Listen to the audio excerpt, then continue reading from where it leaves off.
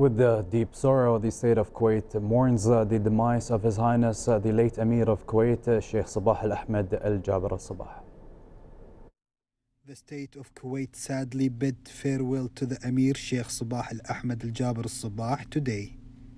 The Minister of Amiri Diwan Affairs Sheikh Ali Al Jarrah Al Sabah announced this evening the demise of His Highness the Emir of Kuwait Sheikh Sabah Al Ahmed Al Jaber Al Sabah at the age of 91 in one of the hospitals in the United States of America.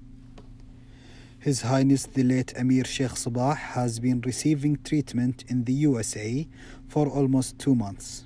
The Amiri Diwan said in a statement that with great sadness and sorrow, the Amiri Diwan mourns the passing of His Highness the late Emir of Kuwait Sheikh Sabah Al Ahmad Al Jaber Sabah.